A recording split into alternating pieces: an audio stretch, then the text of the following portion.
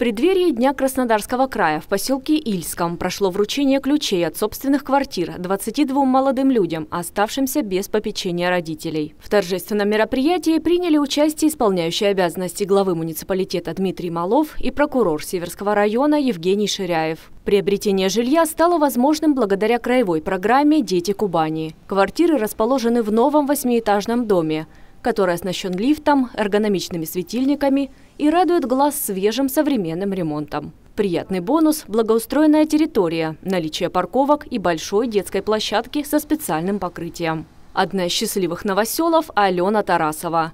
С неподдельной радостью девушка осмотрела свою новую квартиру и осталась очень довольна. Ожидания полностью совпали с реальностью. Ну, честно, я в восторге, конечно. Особенно меня что впечатлило, это вообще панорамное окно. Это не, не у всех есть квартиры. В квартире есть не только прекрасное панорамное окно, но и балкон, с которого открывается живописный вид на горы. Алена признается, квартира стала приятной неожиданностью, на которую она не очень надеялась.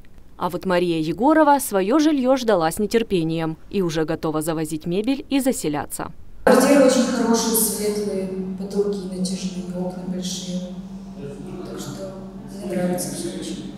К дому подведены все необходимые коммуникации. И самое приятное – уже сделан косметический ремонт. На кухне установлена раковина и плита, а в ванной – нужная сантехника. Новое жилье полностью готово к переезду хозяев. Еще один счастливый новосел Игорь Брезинский с радостью отмечает удобное расположение дома в самом центре поселка.